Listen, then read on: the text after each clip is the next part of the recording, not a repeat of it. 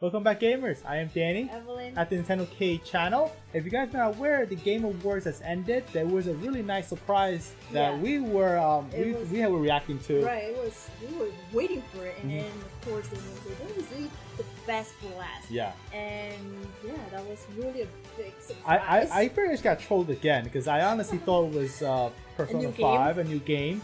But there was more to it than that, and uh, apparently uh, our good friends uh, Joymon64 and Squidnick Green, um, you guys, you've probably seen them in our live streams and content in the past.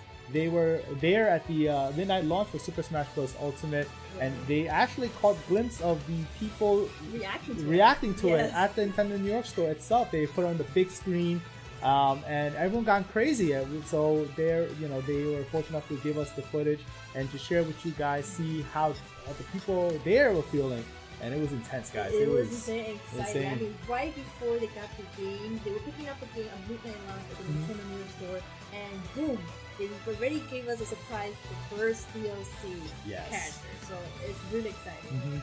So uh, definitely give props to them. If you enjoyed this episode, be sure to give us a thumbs up, and I'm sure they'll appreciate it. Consider subscribing to NintendoCade for more episodes like this. We, you know, we take it to heart that you guys enjoy it, and we'll keep doing more of these. All right, guys, I'm gonna flip over to them and uh, check it out.